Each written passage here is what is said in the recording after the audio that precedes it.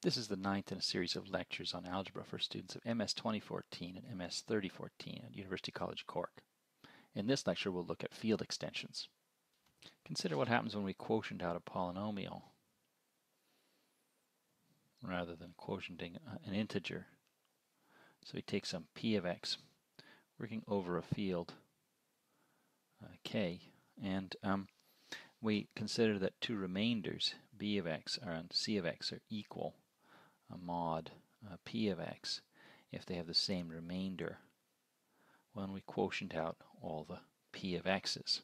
So we can think of those as remainders mod p of x, and we'll add, multiply, and subtract in the obvious way by actually adding, multiplying, and subtracting polynomials and then taking remainders. Um, we could also ask how would we go about finding reciprocals What's the reciprocal of such a thing? Obviously, the reciprocal of a polynomial, a non-constant polynomial, can't be a polynomial in the usual sense of reciprocal, it, not as a function or not as a not as a polynomial, but uh, but as a remainder, it can. Uh, what it means to be an, an inverse or reciprocal for uh, for a remainder is that we want uh, that b of x times b of x inverse should be 1 up to p of x's. In other words, when we write b of x inverse, we mean some remainder so that this product uh, of polynomials is 1 plus a multiple of p of x. And how do we find such a thing? If we were trying to explicitly calculate out um, one of these reciprocals of remainders, we do it by a process of putting b of x and p of x in as polynomials, not as remainders. Obviously not as remainders, so otherwise the p of x would disappear. And then we carry out the, the Bezout coefficient calculations. Let's think about a simple example of this process. Um, uh, let's consider uh, p of x to be x cubed plus 2x plus 1 over the rational numbers, the field of rational numbers. So our coefficients are drawn from rational numbers. Um, then if we mod out by the p of x's, of course, uh, x cubed plus 2x plus 1 will be 0, which is uh, then telling us that x cubed will be minus 2x plus 1 up to p of x's. So in remainders, these will be the same remainder. That means, therefore, that you can knock off any cube of, of x or any higher power of x and write it more simply in terms of some lower powers by repeatedly using this rule. So third powers go down to being these, these first powers and so on. It's traditional uh, to write um, write alpha or something like some Greek letter to mean um, could be beta gamma um, to mean the remainder of the polynomial x when we mod out by the p of x's. So we just write it as alpha. And so instead of writing something like x cubed equals minus 2x plus 1 mod p of x's, we'll simply write that as alpha cubed equals minus 2 alpha plus 1. And we won't write mod p of x's because it'll be understood that those are remainders. It's understood we'll use this Greek letter notation that we're passing to remainders. This enables us to reduce again any any power uh, three or higher repeatedly by um, by threes at a time down to to a lower power with only one alpha in it. And so we can write any polynomial in alpha by using polynomials of at most degree 2 because 3 and higher we write we rewrite using this rule. As an example, we can compute out what happens when we multiply um, alpha squared plus 1 times alpha squared plus alpha plus 1. And again, remember that we're saying that alpha cubed is minus 2 alpha minus 1 in our uh, quotient, in our space of remainders.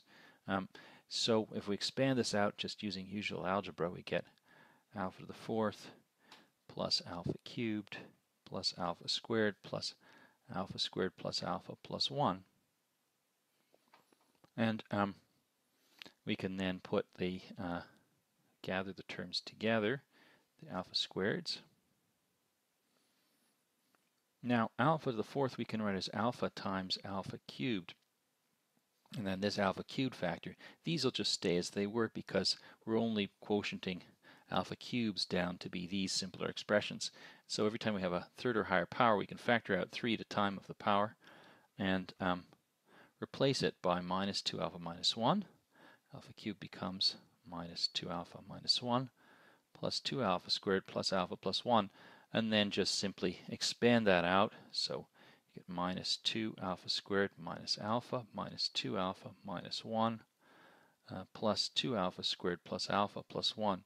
And if you cancel out all the terms, you just get minus 2 alpha. So you can see how to do computations in this quotient. So this is what we do when we quotient out um, p of x is x squared uh, plus 2x plus 1, oh sorry, x cubed plus 2x plus 1 was what we quotiented out by, and we write the remainder as alpha, and then we've just manipulated using this rule.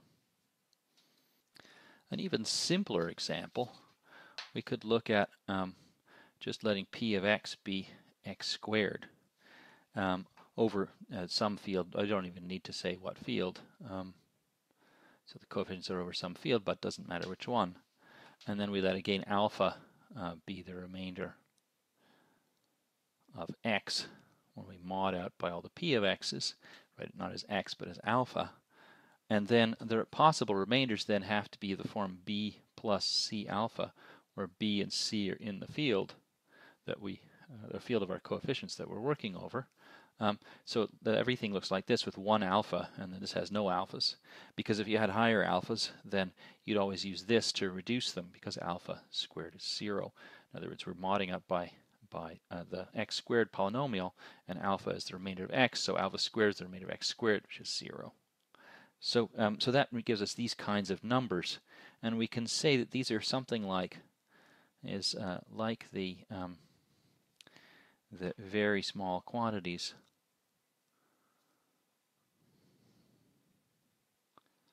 that um, that physicists uh, talk about when um, when they do their calculations. They have quantities that are supposed to be so small that the squares can be ne uh, neglected from computations. And of course, ordinary numbers don't have that property. You can't, uh, with a real number, get its square to be zero unless it's already zero. But with these kind of strange numbers we've created here, we've created a, a ring in which there are the quantities where um, where the squares actually become zero. So you can think of them as like very small uh, quantities. A similar example, if we um, if we let p of x, instead of being x squared, be x times x minus 1, and it could be over any field, then uh, we could ask, what does this do? Uh, we get a quantity alpha, which again is the remainder of x, mod p of x. And what happens with this alpha? What does it look like? Well, it, it, it alpha is not zero, and uh, because x is non-zero, mod p of x, p of x is bigger degree than x, so we're not modding up by anything of degree 1. Also, alpha minus 1 is not 0, alpha is not 1. But alpha times alpha minus 1 is 0 because uh, we've modded out by these, it's the remainder when we mod out the x times x minus 1's, remainder of x, so this quantity becomes uh, the remainder of x, x minus 1 mod x, x minus 1, so it's 0. And so even though the, the number's not 0 and not 1, it wants to satisfy this equation, which is satisfied by 0 and 1. And so it wants to be sort of 0 and sort of be 1, but it doesn't know which one it wants to be. It sort of wants to be sort of uh, alpha something like 0, but it's also something like 1 at the same time. A sort of mysterious object that wants to be one, one of, wants to be at either location, but doesn't know which one it's going to choose. Now we've already said that we were going to think about um, about how to calculate out Bezout coefficients, uh, or using Bezout coefficient, how to calculate out reciprocals. So let's try an example. This guy's going to be x cubed plus x plus 1 over a field, and the field will just be the field of remainders mod 2. That'll make our calculations much, much simpler than if we worked with more complicated fields. And again, alpha is going to be the remainder of x when we mod out all the p of x's. So, um, so we'll call that alpha. Now let's try and find a reciprocal of alpha squared plus alpha plus 1. How do we find its reciprocal? We don't know that there is one, um, and there might not be one in general. Maybe this doesn't have a reciprocal. Um, but the, the, the, general technique is, is very straightforward. We're going to just try to look at Bezout coefficients um, so we're going to put the, the polynomial we want to invert. Now it's in x's, not in alphas, when we try to do the Bezout coefficients, because it's supposed to be thought of as an actual polynomial, not just as a remainder. And then we'll take the p of x that we want to mod out by x cubed plus x plus 1. now we have to try and uh, carry out the Bezout coefficient calculation. But you can see that if I want to get rid of the x cubed as the highest power, it's the one you want to get rid of. So to get rid of it, I'll add a multiple, suitable multiple of, of this to this. And of course, what multiple is it? It's just a multiple x. x times this row to this row, that will make that an x cubed, and two x cubes are zero. Remember, we're working in coefficients, which are remainders mod 2, and so 2 is 0. So if I multiply this by x, I get x cubed. Add that to that, I get 2x cubes, and 2 is 0, so that'll knock out the x cubes. And so we'll get 1, 0, x, 1, uh, x squared plus 1, and this guy stays the same, x squared plus x plus 1, because you can see this uh, x cubed to this one, x squared goes in here, and then x uh, plus x is 0, leaving the 1. So that gives us a simpler expression, but now we have to get rid of one of the two, doesn't matter which one. Let's uh, try uh, adding uh, 1 to, of this to this, 1 of the second row to the first row, so the x squared will knock out the x squared, giving us x plus 1, 1, x, and x, 1, x squared plus 1. Now we kind of want to use, so again, that's uh, we did one of these to this, so the x squared hits the x squared, the 1 hits the 1, leaving the x. And now we want to get rid of as much as possible of this guy. It's got degree 2, so we're going to use the x to get rid of the x squared. So to do x times this to this, giving us um, uh, the first row stays the same, and the second row becomes um, uh, x times this to this gives me uh, x squared plus x, so it's x squared, and then x plus 1 here, and then 1 because the x uh, times x hits the x squared, and so we're done. And that gives us the, the result we want. These are the Bezout coefficients. You can see the GCD is going to be 1. If you kept going, you'd kill this x, turn to 0. We don't need to do that. You can already see that those are going to be the Bezout coefficients, and the GCD is 1. And so we get Bezout coefficients x squared and x plus 1 from here, and that's going to equal 1. The first Bezout coefficient goes against this guy, x squared plus x plus 1, and then the x plus 1 goes against the second guy, x cubed plus x plus 1 equals 1. Now all this is just polynomial from here to here. All of this is just going on in the world of polynomials, not the world of remainders. We've been working with polynomials in x, and now we're going to pass to remainders. Um, get rid of the quotient out the, the, the p of x here, this guy here. Um, so uh, when we quotient out, every all the x's turn to alphas. So we get alpha squared, alpha squared plus alpha plus 1 and then um, uh, this disappears because that's the p of x itself that becomes 0 when we put the alphas in, and so we get equals 1. And so we've actually found the reciprocal of this to be this. We found that alpha squared is 1 over alpha squared plus alpha plus 1 in this uh, world of these remainders. We're much more often interested in fields than we are in other rings. They're the ones that we like the most, the easiest ones to work in in particular in building bigger fields. Um, once we have a field, we want to make bigger fields and bigger fields to see if we can use them to solve various equations, various polynomials. And so if I have um, a, field sitting inside another field, um, it's a sub as a sub ring when both are fields, um, then we call it a subfield for the obvious reason. Um, and but when we also say, as I say, K is a subfield of big K, or big K is a field extension of little k. How could we write down examples of field extensions? Um, what what could we use? Um, we could use a basis, a basis of big K over little k is a, a, a collection of elements, a finite collection of elements, um, alpha 1, alpha 2, dot, dot, dot, dot, dot, alpha n of big K, so that every element of big K is uniquely expressed as um, some amount of alpha 1 plus some amount of alpha 2 plus dot dot dot plus some amount of alpha n of these basis elements where the coefficients,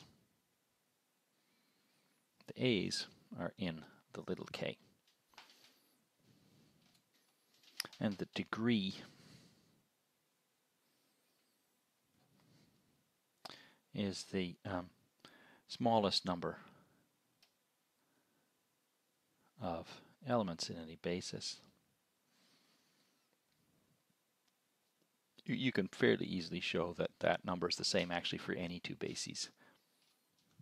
So, um, for example, our one of our favorites is uh, that the real numbers then sit inside the complex numbers. But we know that we can write every every complex number as x times 1 plus y times i. And so therefore 1 and i, well, they have to form a basis. Um, you can express it better uniquely this way, and so they form a basis.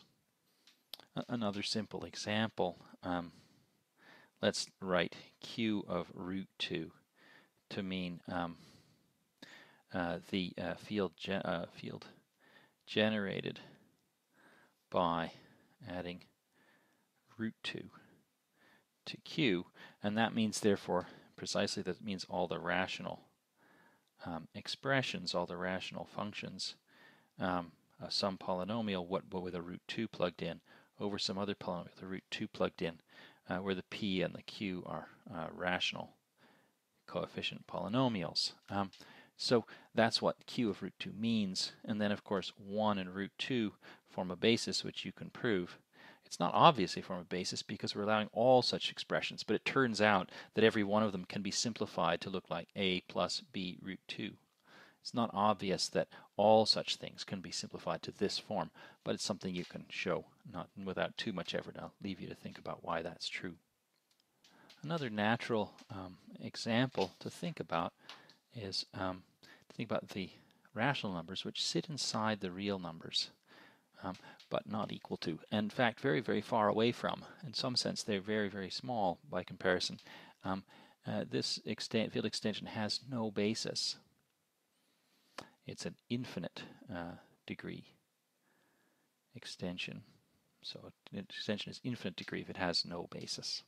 The fact that it's infinite degree is actually difficult to prove, and obviously we won't be proving it in, in these lectures. Another example is if we have um, uh, one field contained in another field, and then that contained in yet another field. Um, these are finite, and they're all finite degree extensions. Then um, it's clear that K contained in L is also finite degree. Why is that? Because um, if you take a bunch of alphas as a basis for um, for k over little k, big K over little k, and a bunch of betas as a basis for um, L over capital K, then you can check, I'll leave you to, to, to convince yourself that the set of products alphas times betas is a basis for L over little k. So in particular, what we find is that degrees actually multiply. Um, so if we have uh, degree, so the degree of L as an extension of little k is the product of its degree as an extension over big K times the degree of big K over little k. Just as we got the complex numbers um, by trying to add a number to the reals that would satisfy x squared plus 1 is 0, we tried to add a root to that. There's no root in the real numbers. but we, if we add a root, we get the complex numbers. So we want to think more generally about adding a root um, to, uh, to an arbitrary polynomial that just doesn't have one.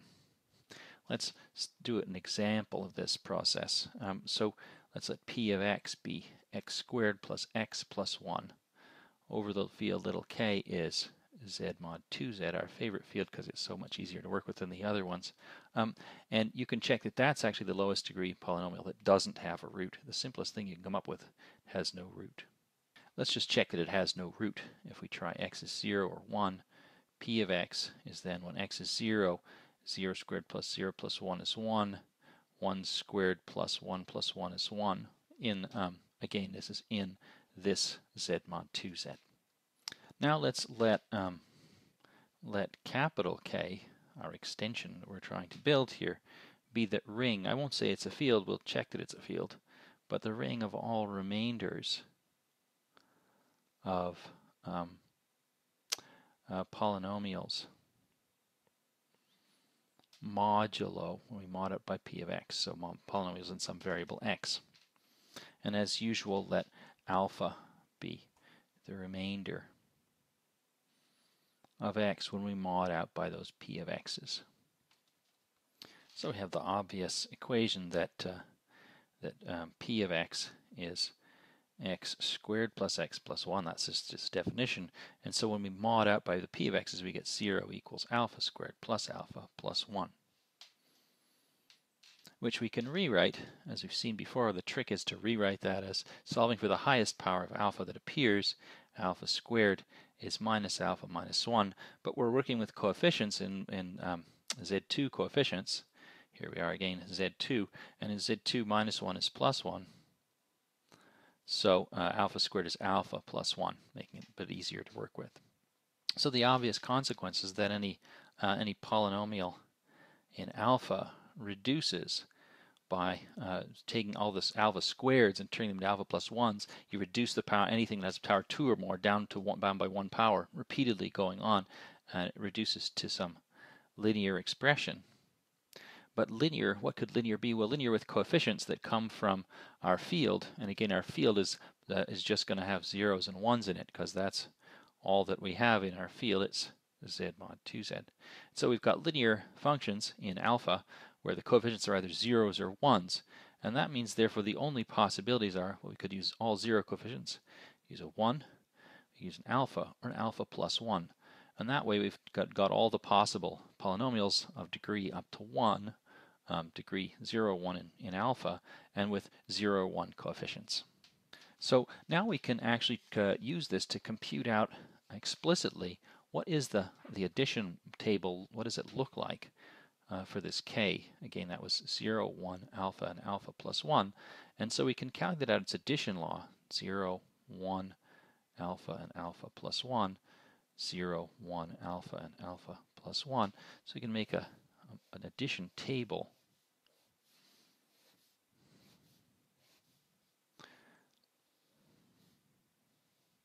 What's uh, well, 0 plus 0 is, is always 0. 0 plus anything is that thing, so that makes the first line easy. Similarly, anything plus 0 has got to be that thing, so that's easy.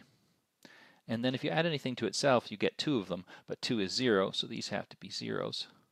And so that's the easy bit. Um, then we can say what happens if we add 1. 1, uh, 1 plus alpha is alpha plus 1. Uh, 1 plus alpha plus 1. 1 plus 1 is 0, so you get alpha. And then alpha plus 1 is alpha plus 1. Alpha plus alpha plus 1 is uh, 2 alphas are 0 alphas, so you just get 1. Um, alpha plus 1 plus 1, 1 plus 1 is 0, so you get alpha. Alpha plus alpha plus 1, 2 alphas are 0, so you get 1. And there's the entire table. So we calculated it out just by obvious observations about the fact that basically uh, 2 equals 0. Okay, so that's all we need to know about that. That's how we can get the whole addition law worked out.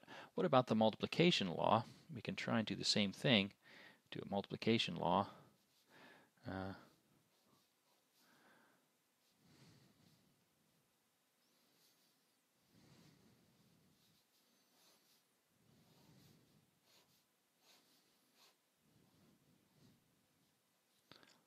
So, uh, so again, we have 0, 1, alpha, and alpha plus 1. And let's try and multiply them out. But there's very little we, we need to do um, when we multiply out. Um, uh, so, um, so we have very simple laws that uh, we only had one law, which was that alpha squared was alpha plus 1. So anytime you have two alphas multiplied by each other, you're replaced by alpha plus 1. Um, so now 0 times anything is always 0. We're doing multiplication table rather than addition now. So 0 times anything is 0, 0 times anything is 0. That gives us a lot of the entries. 1 times anything is that thing. 1 times anything is that thing. And then we're only left with these entries that we have to work out. Alpha times alpha is alpha squared, which is alpha plus 1. And then we, I'll leave you to work out if you do alpha times alpha plus 1, you get alpha squared plus alpha. Reduce modulo this law, and I'll let you check you get a 1 here. Similarly, alpha times alpha plus 1. Um, you get alpha squared plus alpha. Reduce modulo this law, and you can check you get 1. And then finally, we have alpha plus 1, alpha plus 1. You expand it all out and simplify all the terms, and I'll let you check you get alpha. So, um, so that's the entire multiplication table worked out for us. So that takes care of, of addition and multiplication. What about division? Let's see if we can find reciprocals. Well, if you just look at the table, the multiplication table, you can look for reciprocals. Well, 1 times 1 is 1, which means that in particular 1 reciprocal is 1. Um, but alpha times, here we have alpha times alpha plus 1 is 1. And so if I take alpha and multiply by alpha plus 1, I'll get 1. So alpha inverse is alpha plus 1. Um, similarly, alpha plus 1 times alpha is 1, and so alpha plus 1 inverse is alpha. Alpha, alpha plus 1 times alpha is 1. Okay, so that gives you all the reciprocals, because there are only four elements, and 0 can't have a reciprocal in any, in any field. So there you go, that's all the reciprocals. So now we know how to do the adding, subtracting, and multiplying. Um, well, sorry, the, the adding, the multiplying, and the dividing. Um, and the subtracting is fairly easy because after all, plus is minus, and so we do know the subtracting from that fact that the addition and the subtraction have the same, exactly the same table. Another obvious observation about this is that everybody has a reciprocal except 0. Looking down the list here, 0, 1 alpha, alpha plus 1, all these three, they all have reciprocals, only 0 doesn't. And so therefore k is a field. We said we'd prove that, and now we've proven it. So this K is a field. It's not obvious that it had to be a field. We don't see a reason why it would have to be, but we can see it from the calculation that it has to be, that it turns out to be a field. So in other words, we started with little k, which was z mod 2z, and now we found it sitting in, not being equal to, some capital K, which is a field extension 0, 1, alpha, alpha plus 1. And if we think about what we're doing with this larger field, we can say, well, p of x, our original polynomial, was um, uh, was x squared plus x plus 1. But if you check, it actually splits into x plus alpha times x plus alpha plus 1. And now you see uh, why we write alpha, a Greek letter, for uh, remainder of x mod p of x. Why don't we use x? Why don't we just write it as x mod p of x? We write it as alpha so that we can now get back to allowing x to be used as an abstract variable again in this expression right here. We've, uh, we now want to distinguish x and alpha. Alpha is this remainder when we mod out the p of x's from uh, uh, the remainder of x when we mod out the p of x's but we want to think of it as a separate kind of object from an abstract variable x, so that we can work with expressions like this in which there's both an abstract variable x and this remainder object sitting in the same expression and treated as very different, uh, very different things. But another observation is that now p, which was actually an irreducible polynomial, had no roots over k and was actually therefore irreducible, it splits over big K. Over big K, it's now broken up into two linear factors. So we wonder why did that work? Why was it that we were able to split it up into linear factors? So we have a theorem which is again that p of x is a polynomial in one variable over a field little k and um, then we'll let alpha again be the remainder of x. We mod out the p of x's and then we'll let k of alpha, instead of calling it capital K, we'll call it this guy, be the, the set of um, the ring of all remainders mod p of x. When we mod out the p of x's from polynomials, and that those of course can all be written as polynomials uh, expressions in expressions in alpha right? Because uh, every single one of them started as a polynomial in x, but we modded out by the p of x's, and modding out by that means turns x into alphas. So that's how we can think of it as being something like polynomials in alpha, although alpha is not an abstract variable. It's a bit of danger um, in this notation. Alpha is not an abstract variable here. So that notation is a bit dangerous because we said previously when we wrote k with these brackets here and something in there that was supposed to be an abstract variable, but now alpha is not an abstract variable, it's a remainder. And so this notation is a bit suggestive that it's polynomial expressions in alpha, but alpha shouldn't be thought of as an abstract variable, but as this remainder so that it does satisfy the requirement that p of alpha is zero. So then what we've just what we can say is that um, then p of x has a root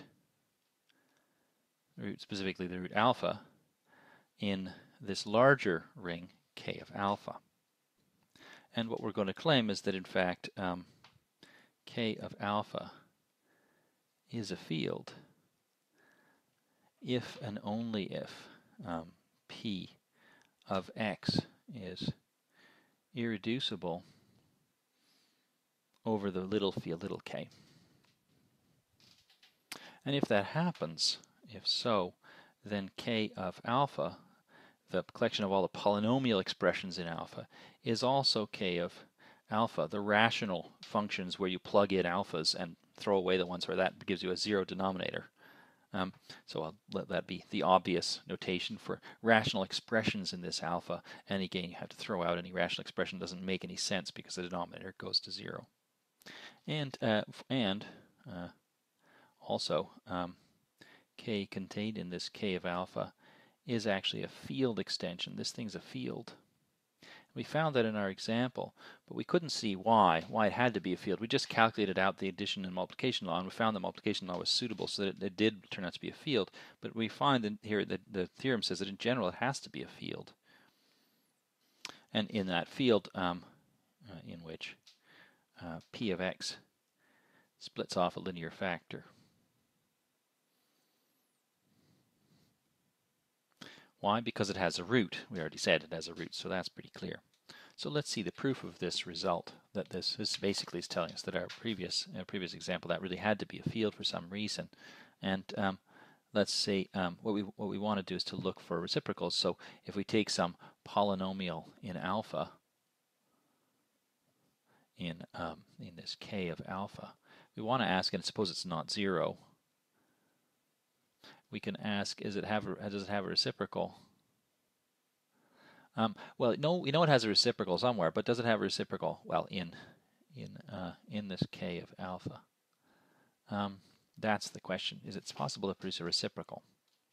Well, if um, p of x is irreducible, then what you do is you look at the you do the Bezout coefficient calculation just like we did on 1, 0, 0, oh, sorry, 0, 1, not on remainders, but again on polynomials, b of x, p of x. And we can assume that b of x has smaller degree, because if it doesn't have smaller degree, we know we can reduce. Any expression alpha can be reduced. We've seen down, down, down to have smaller degree than the minimal polynomial of alpha, than, than, the, than the, sorry, than p of x. So, um, so it has smaller degree uh, than uh, this p of x. This one is smaller degree than this one because if it has bigger degree, you just uh, get rid of it, simplify it uh, in in this expression here, where you've got this alpha plugged into it. Make it use a smaller polynomial that expresses the same thing by using a rule to rewrite the highest power of alpha in p of x uh, as as something lower. So when you're done the Bezout coefficient calculation, you get s of x, b of x plus t of x, p of x equal to the GCD but if this guy is irreducible, it can't be divisible. P is irreducible. It can't be divisible by this smaller degree B. Um, that then it wouldn't be irreducible in, anymore. Um, so it has no GCD. The GCD has to be one. It can't be sorry. It can't be divisible by any by by this by this smaller degree guy. This GCD can't divide into P of x unless it's unless it's uh, it's a constant because nothing of smaller degree can divide in. And so this guy has to be a constant, and so can after rescaling can be made one. And so this uh, then enables us to divide to mod out by the um, p of x's and get s of alpha, b of alpha equals 1. So if p of x is irreducible, the Bezout coefficient calculation will give us these Bezout coefficients here. Uh, the GCD will have to be 1 because it's irreducible. Uh, and then you can, um, because it can't have a common factor with the b of x, which is smaller degree, and then you can reduce and get this. What if p of x is reducible?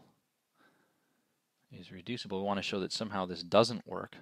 So p of x is a product b of x times c of x.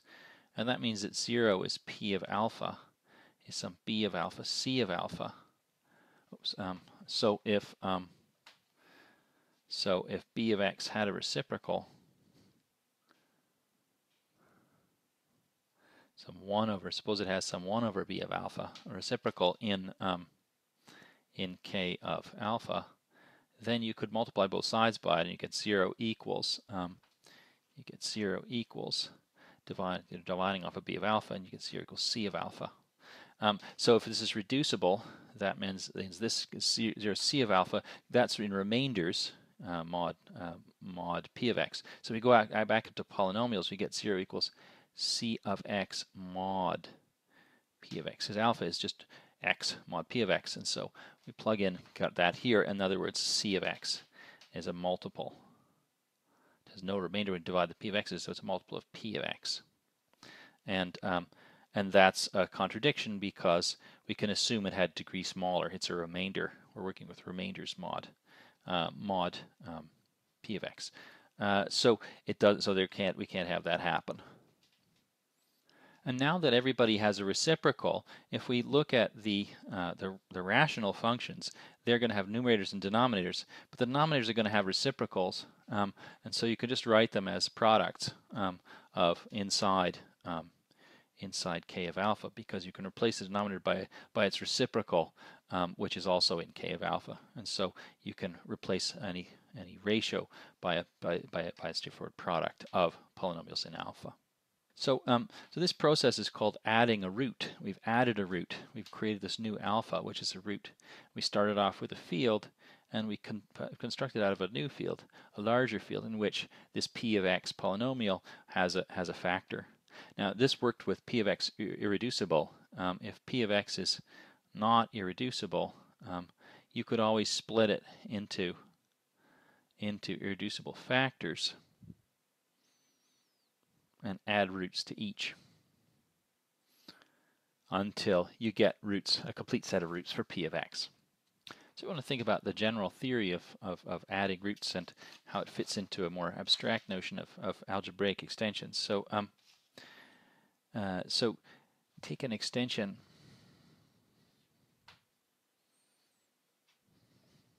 so little case it's in big case big case an extension of little k um, an element u in big K is algebraic over little k if um, it is a root of some um, polynomial in one variable over little k, uh, which is not constant, not the zero polynomial. Now, if um, if that polynomial factors u is a root of, one of the factors, to be a root of a polynomial, if it factors root of one of the factors, So we can keep going until we get an irreducible, um, we can assume it, it, solves an irreducible polynomial. Um, but if uh, u satisfies two, um, two such polynomial equations,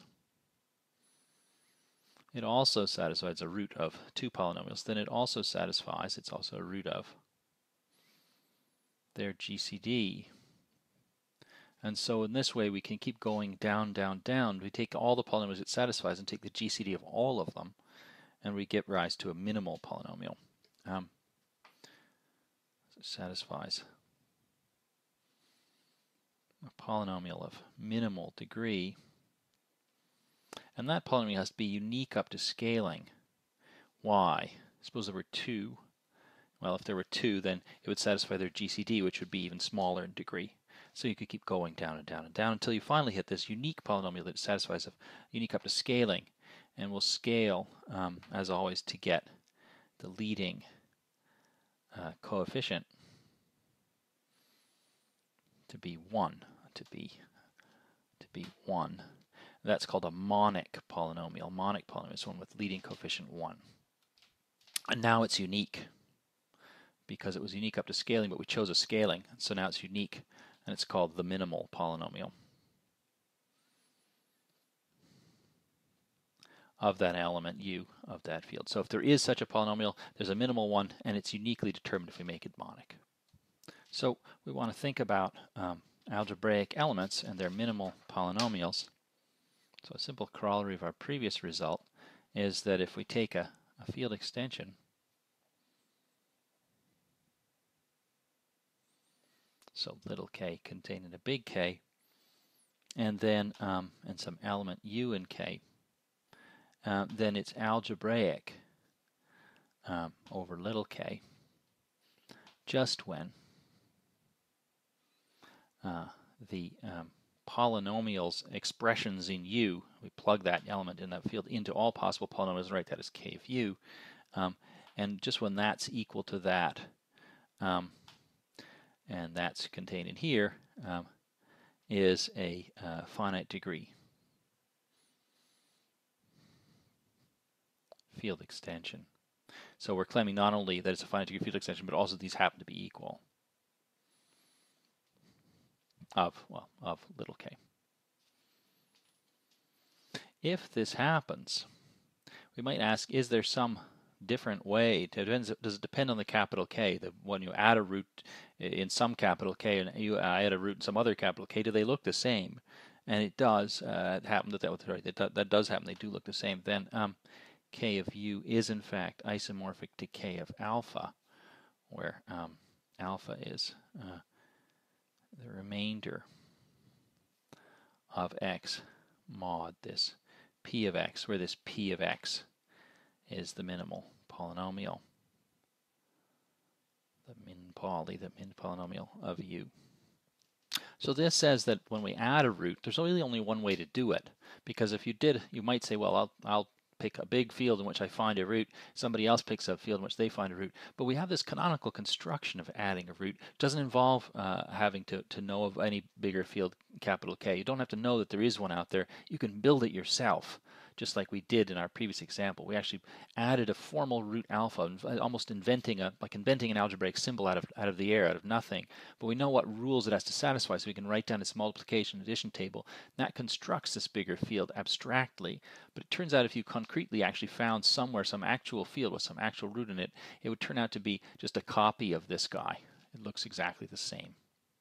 So how do we prove this result? Um, well, uh, what we want to think about is whether or not this guy is finite dimensional. Uh, it's a finite dimensional vector space over uh, this field capital little k, and I'm assuming you've got enough linear algebra to be comfortable with that, the term finite dimensional vector space. Um, at this point, if you're not familiar with vector spaces, that you might just skip this proof. Um, so uh, so that happens exactly when 1 u u squared da, da, dot. Yeah, well, if that happens, then clearly these are in a finite dimensional vector space, and so the, they can't be all linearly dependent. And so there's a linear relation uh, after finitely many steps.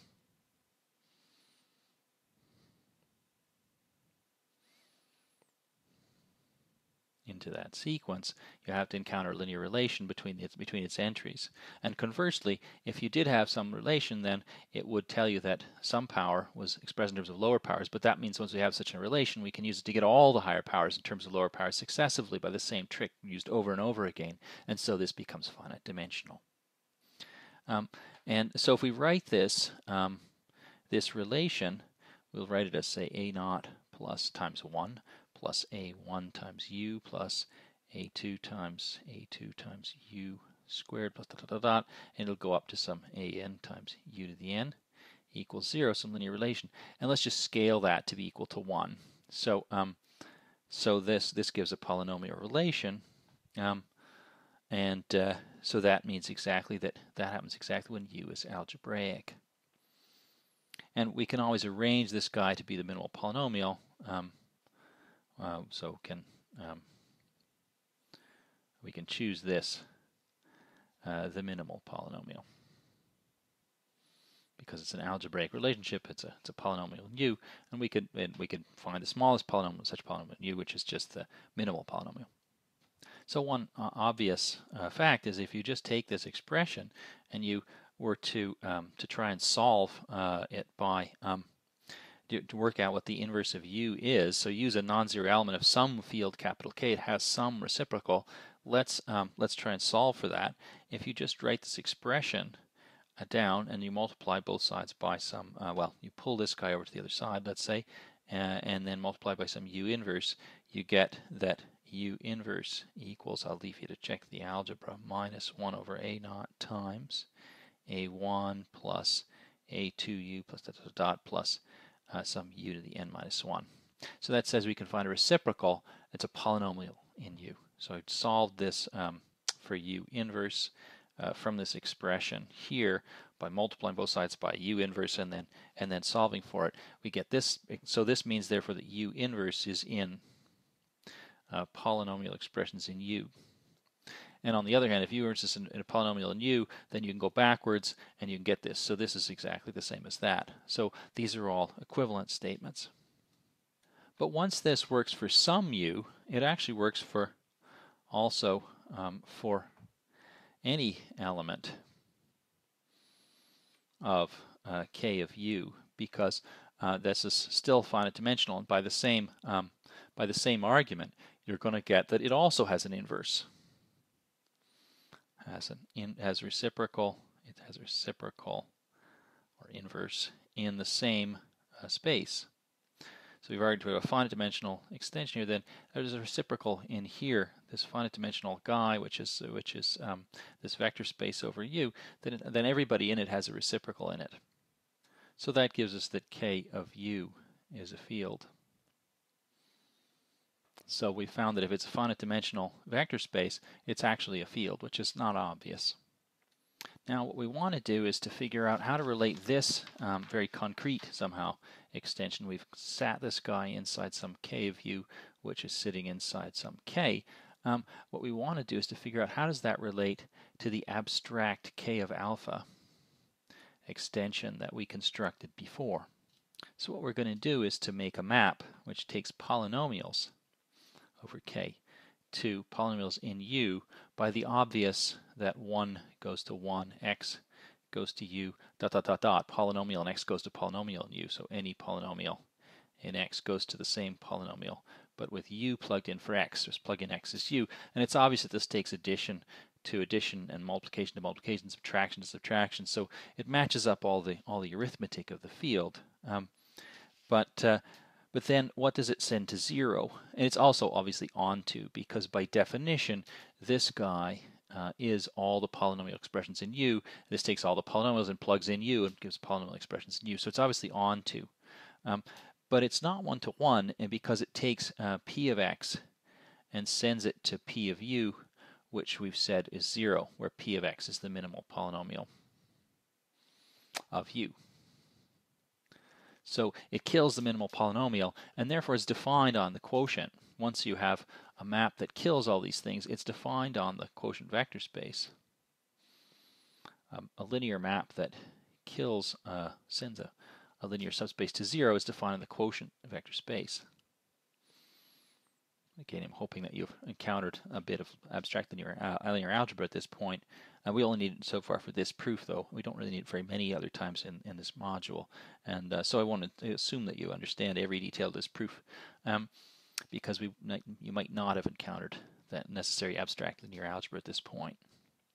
But that means it's to find the quotient. But the quotient vector space is what? Well, it's it's when we quotient that by the p of x's and all their multiples. And so it's actually uh, just this, the remainders. The quotient vector space, um, where we quotient out the p of x and all of its multiples, is of course the space of remainders. And in fact, this guy goes to zero exactly when it's a multiple of, of, of the, of the minimal polynomial. Um, that's why it's the remainders, because um, the things that go to zero aren't just the p of x, they're all the multiples of p of x, and they're exactly the multiples of p of x. After all, the minimal polynomial is the greatest common divisor of all the things that get sent to zero. And so it's actually going to um, be the multiples of that that go to zero. And so the multiples of that going to zero means that uh, the quotient space is uh, quotienting out all the multiples of p of x, in other words, uh, being left by with the remainders mod modulo p of x. So that gives us remainders, and so we get a map which takes alpha to u and takes any polynomial in alpha to the corresponding polynomial in u as well defined. Um, but we also know that it's got to be one to one because we quotiented out by the by, by the kernel. We took all the things that went to zero. They were just the multiples of p of x, and then quotient them all out. And so this guy's now one to one and onto. And also it preserves addition, multiplication, and subtraction. And so it's exactly identifying all of the all the algebra of the um, polynomials in alpha with the polynomials in u. They're identified as rings, and therefore they're identified as fields. So a trivial corollary of this is that um, is that every uh, finite degree field extension is algebraic. In other words, well, consists entirely of algebraic elements. Consists entirely of algebraic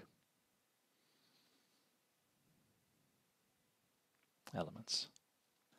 Um, and, and also that um, uh, maybe less obvious result that um, every field extension by finitely many algebraic uh, elements is an algebraic extension.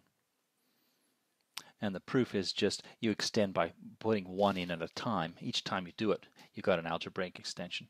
And so you go up, up, up one at a time.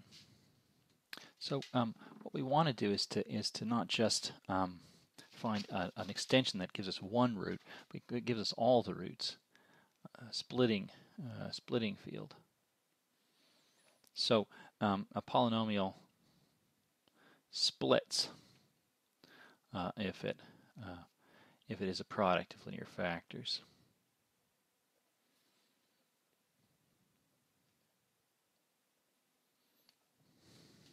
So as an example, x squared plus 1 is x minus i, x plus i over the complex numbers, so it splits an extension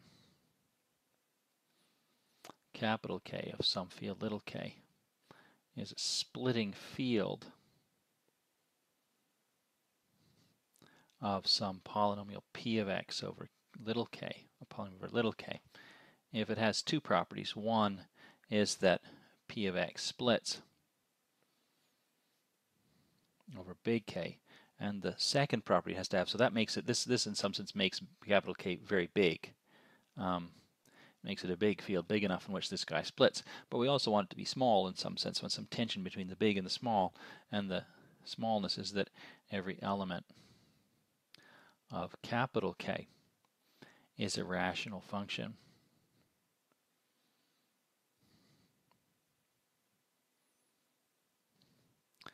Uh, with coefficients in little k. A rational function with coefficients in little k of the roots of that p of x. So you can split it and, oh, um, so, sorry, um, uh, so, uh, so we want to say that it's a, it's a splitting field if the polynomial splits, so that makes it a big one, a big field, a big K.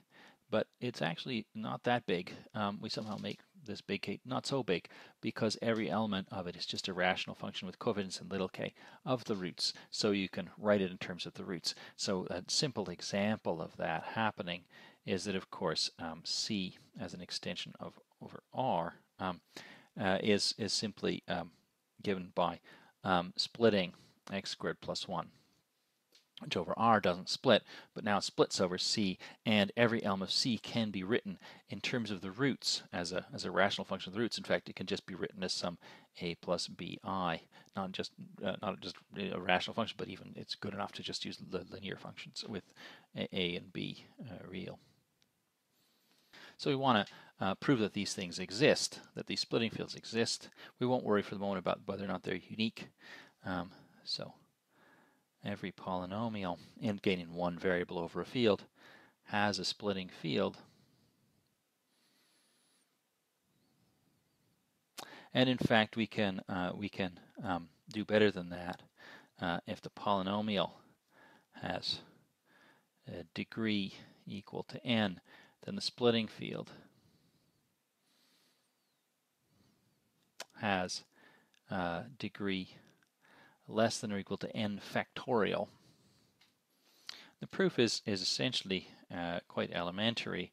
Um, what we do is we just split um, p of x first into irreducibles and all we have to do is add a root to each one. Um, but uh, so so we really so it's good enough to um, to assume assume p of x is irreducible. So we get a, a product of degrees for at least for, at worst for each one. So when we uh, when we actually add a root to one of them, um, the elements uh, are polynomials. Um, the elements of the extension when we add the root look like, as we've seen, they look like adding just just putting in coefficients alpha to the n. We put in some alpha, some root, and we get these kind of objects.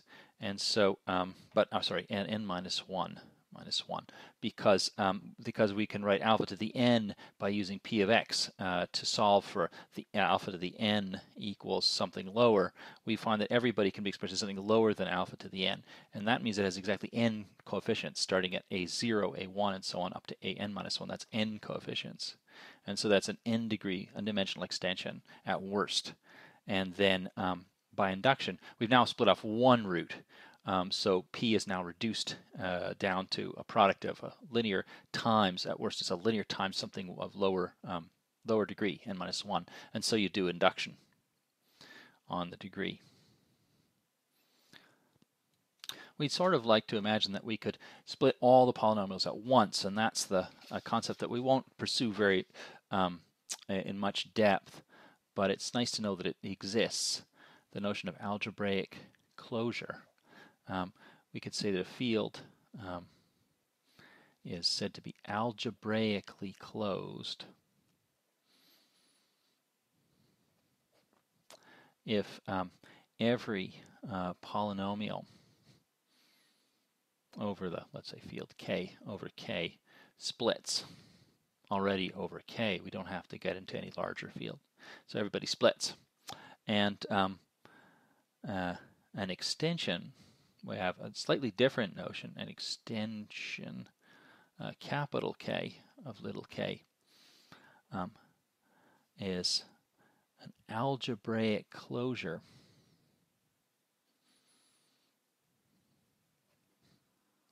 Of little k. If um, it is a splitting field of a collection of um, sorry, don't say algebraic is it sorry is a splitting field um, is a splitting field uh, of a collection uh, of a collection. Um, so let's write it again. So an extension, capital K of little k, is a splitting field of a collection of polynomials over little k if um, uh, they, well if they all split and uh, over uh, capital K and um, capital K is generated by their roots.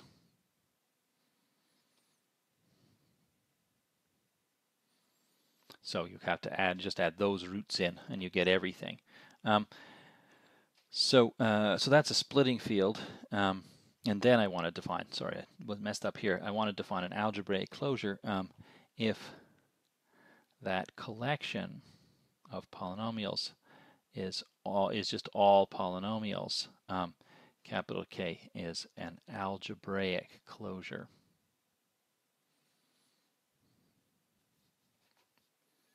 Of little k. So we have algebraically closed means the, everybody splits, but an algebraic closure means you somehow managed to split everybody that didn't split. You've made some bigger field in which everybody now splits, um, and you're gen generated by those guys.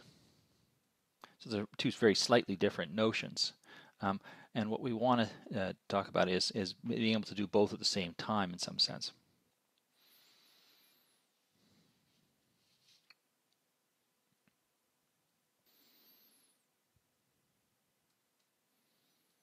So we want to prove that um, uh, that we can somehow do uh, algebraic uh, algebraic closure and uh, and make it uh, simultaneously algebraically closed, which are slightly different notions. So every field um, little k has an algebraic closure little k bar. It's always denoted little k bar, and it's re really unique, unique up to an isomorphism. That is to say, an up into a perfect identification of the fields, um, which is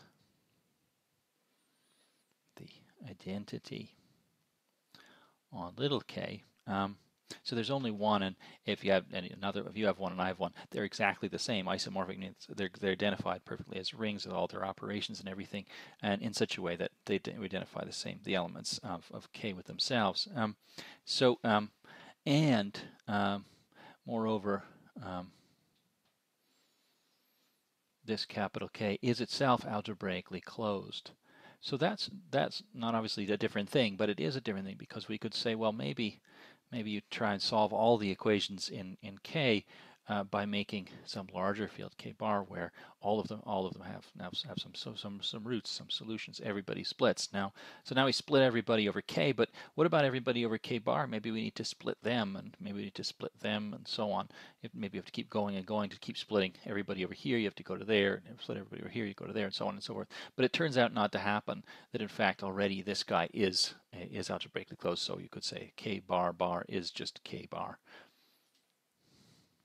um, we won't give a proof. Um, the proof of this is too hard um, for us, so we'll skip that and uh, think instead about uh, just give a few, couple of examples. Um, so the simplest example is, of course, the real numbers, which is really, really where all this somehow comes from. Um, the real numbers, uh, the closure is, is the complex numbers, the algebraic closure of the complex numbers. We've already seen that the complex numbers are algebraically closed. Um, that was exactly the fundamental theorem of algebra, that all the complex polynomials have complex solutions.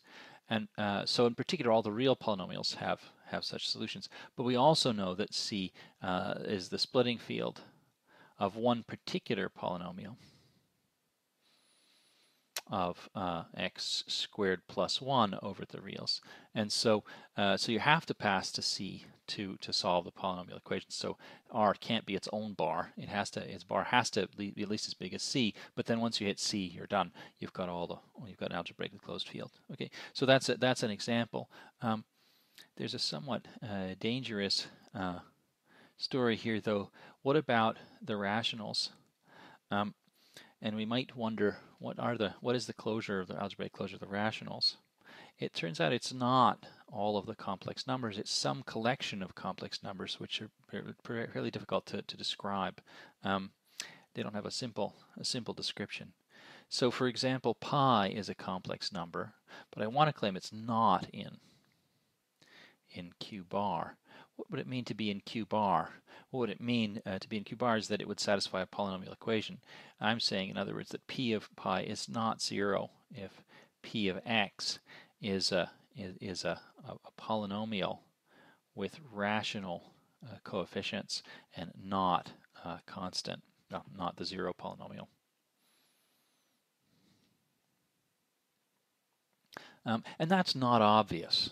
So this is this is very, this is quite difficult um, to prove, and obviously we won't prove it. Um, but it is true that pi is, is an example of, of, of, a number that's that's not uh, in Q bar um, because it does not satisfy a polynomial over over Q. Um, and being in Q bar means exactly that that's where, where the polynomials in Q split. That's the numbers you have to throw in, the complex numbers you have to throw in to get Q to split. But because C is uh, algebraically closed um, by fundamental theorem of algebra, we know C is algebraically closed. And we know that Q sits inside um, inside C. So if we just add in all of the roots we need that come from C, uh, that the roots to, to, to, to, polynomials in Q, add them in, then we already get Q bar. Um, but what we don't know is how to describe it more explicitly. An another uh, interesting observation about algebraic closure is that uh, we often had fields that were finite. For example, we know that Z mod PZ had only the remainders 0 to p minus 1 in it, so it was finite, had finitely many elements. Um, and so, um, so what we could wonder is, uh, as an example, if we had K a finite field, that is to say with finitely many elements, um, could it be algebraically closed? Um, and it turns out it can't be, and here's why. Suppose we write it, it's finite, so there's finitely many elements, and we'll just give them all names, alpha 1 to alpha n. And then suppose we take the polynomial uh, that's given by 1 plus x minus alpha 1 dot, dot, dot, dot, x minus alpha n. Note that this part, without the 1, this vanishes no matter what you plug in. But then when you add 1, then it doesn't vanish no matter what you plug in. It has no roots in K. So if you want to try and split it, you have to make something bigger. If you want to make any root at all, you have to make something bigger. And so therefore K is not algebraically closed. And that's true for any finite field, particularly for this one. So you can't make a finite field be algebraically closed. Algebraically closed uh, fields are infinite, have infinitely many elements. And that means in particular, if we just take this simple thing like, for example, z mod 2z, only has just 0 and 1 in it. It's not algebraically closed. We actually saw an example. We could do x squared plus x plus 1 is not doesn't have a root in it. You had to make a bigger uh, field to get a root. And if you keep going, you get bigger and bigger and bigger fields, uh, but you you never stop. You never run into after no, no, any finite number of steps. You still haven't reached the algebraic closure. So far we've talked a lot about polynomials, which have only finitely many terms. In our next, next lecture, we'll think about infinite series expansions and their algebraic structure.